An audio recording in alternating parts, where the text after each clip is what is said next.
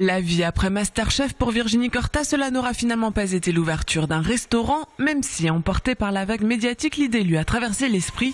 Maman de quatre enfants, la candidate de la célèbre émission culinaire a finalement préféré se poser et réfléchir à la suite de sa carrière. Euh, j'ai une famille, j'ai quatre enfants, j'ai plein d'opportunités qui s'ouvrent à moi à partir de maintenant. Mais est-ce que la vraie solution, c'est réellement le, restaurant? Et en posant la question, j'ai trouvé la réponse très rapidement en me disant non, j'ai quatre enfants, j'ai envie de passer du temps avec eux. Et euh, je pense qu'il y a des manières plus importantes et plus intéressantes de, de privilégier ma passion. La notoriété aidant, Virginie Corta a très vite été sollicitée. Mariage, baptême ou autres événements.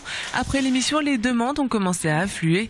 Virginie Corta a alors dû faire un choix, créer son entreprise, oui, mais sous quelle forme? Au départ, euh, c'était pas forcément le statut d'auto-entrepreneur, c'était plutôt euh, le URL ou la SA. Et euh, par rapport à l'activité que j'avais envie de développer, euh, j'avais pas envie d'y passer trop de temps. Donc, euh, en réfléchissant sur les différents statuts euh, et les charges qui incombent à chaque statut, je me suis rendu compte que l'auto-entrepreneur, pour moi, c'était le mieux parce que je voulais pas quelque chose de, trop ponctuel, de trop récurrent. Je voulais une activité vraiment sur mesure pour profiter de ma vie de famille et euh, c'était vraiment l'idéal. Un statut d'auto-entrepreneur qui lui permet désormais d'exercer sa passion en toute sérénité. Elle donne aujourd'hui des cours de cuisine pour les enfants en partenariat avec la MJC d'Alkirch, des cours de cuisine à domicile, service traiteur événementiel, chef à domicile et consulting culinaire pour les entreprises.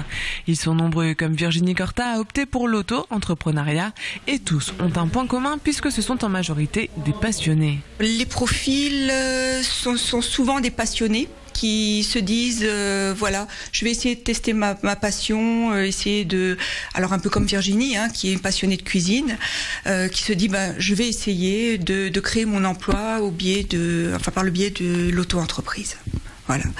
Euh, sinon, ce sont des personnes qui euh, sont au chômage, qui n'arrivent pas à trouver euh, du job, et donc pareil, se disent je vais créer mon emploi en auto-entrepreneur, tester un peu le marché, voir comment ça prend, et si vraiment ça prend, par la suite me transformer en entreprise individuelle ou société. Mais ce statut a ses limites puisque les auto-entrepreneurs arrivent à la retraite avec les minima. L'auto-entrepreneuriat ne doit être que temporaire, une transition pour se tester si l'activité exercée ne constitue pas qu'un complément mais une activité à temps complet.